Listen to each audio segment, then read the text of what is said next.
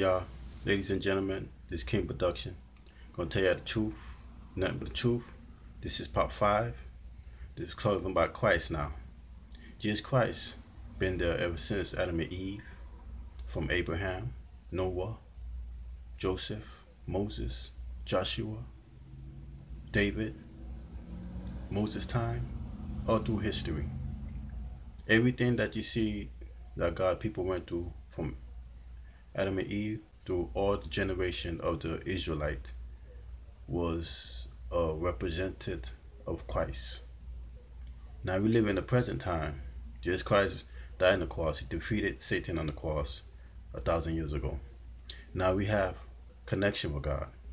What Adam lost, Jesus Christ proclaimed. Now we have connection with Jesus Christ that when we ask for forgiveness, we automatically get forgiveness through Jesus Christ, and we have a connection to God so He could hear our prayer. Jesus, the high priest, He listened to everything through prayers, and He helped us through our situation and our difficulty in this ancient time, present time world. Now, what's going on now? That soon later, you see election, you see the election going on, but soon later, it's going to be a new world order coming. Some people is ignorant some people don't believe it. Some people have different belief. But the truth is, there's going to be a new world order. The whole agenda is to change the whole world to one government and one currency.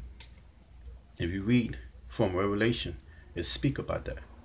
You have to do your research in order to know the truth. You have to pray to God, and He gonna show you the light, and He gonna guide you to all wisdom. Because He never hold wisdom. He always give us wisdom if we ask for wisdom through prayer. He he gives strength to endure this war. It's a cold war, but God is greater. His love endures forever. Christ is the resurrection, and He is coming back very soon for those righteous people. He, a rapture gonna be coming soon, so we have to hold on strong and believe in Jesus Christ. Don't listen what the president say, cause they're talking smoke.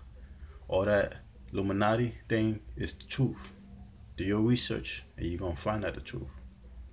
And never give up. Hold on strong because God gave us the victory through Jesus Christ. Ladies and gentlemen, I'll talk to you later. God bless you. Know the truth. The truth will set you free.